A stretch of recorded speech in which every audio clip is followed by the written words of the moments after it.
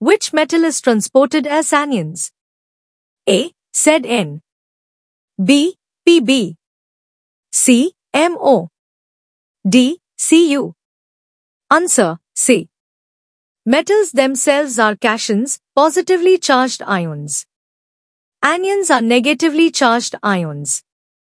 Out of the options, molybdenum, Mo, is the closest to forming anionic forms under specific conditions. So the answer is C. Vanadium and molybdenum are transported as stable anions. Zinc and copper appear to be transported loosely associated with peptides or proteins, plants, and possibly mugineic acid in plants. Much remains to be learned about the biological transport of non-ferrous metal ions. Molybdenum is transported as anions. Molybdenum is transported by an ABC-type transporter in bacteria and archaea, which is made up of three proteins, MOD-A, MOD-B, and MOD-C. MOD-A is a periplasmic binding protein, MOD-B is a membrane protein, and MOD-C is the ATPase.